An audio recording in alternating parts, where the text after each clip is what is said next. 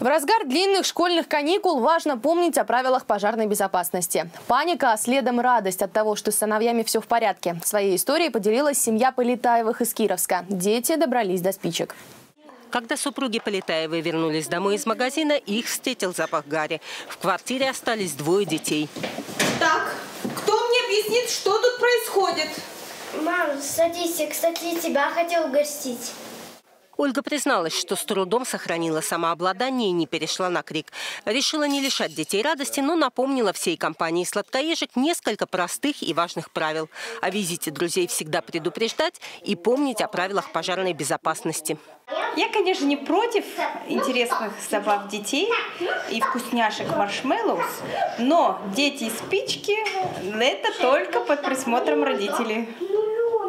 Мы постоянно разговариваем с детьми о том, что опасно, что можно, что нельзя. Но каникулы такие длинные, все и не предусмотришь. 9 тысяч школьников из Апатитов и Кировска на ближайшие недели большую часть времени будут предоставлены сами себе.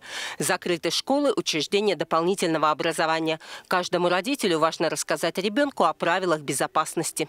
В нынешнем году уже произошло 30 пожаров в апатитах, э, в апатитах и в Кировске.